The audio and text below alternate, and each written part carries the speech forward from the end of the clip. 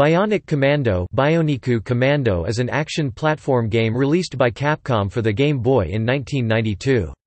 It is an adaptation of the Nintendo Entertainment System version of Bionic Commando, changing the present-day setting of the NES version into a futuristic sci-fi one.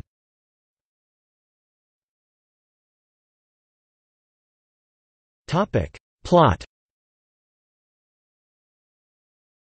The Game Boy version follows the same plot as the NES version, changing the present-day setting of the NES version with a futuristic one. The player takes the role of Rad Spencer Ladd in the original NES version, an agent of the FF Corps the FF Battalion in the NES version, whose mission is to rescue his ally Super Joe from the Doraize army and prevent their leader, Director Wiseman named after the Weizmann character from the Japanese Famicom game, who was renamed Killt in the NES localization, from the Doraize army's secret project codenamed Albatross This version also shifts the military theme present in the original to a more sci-fi territory.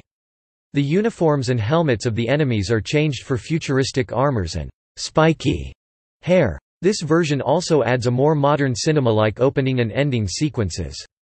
These sequences and character drawings in the in-game dialogues, making the Game Boy version more story-oriented.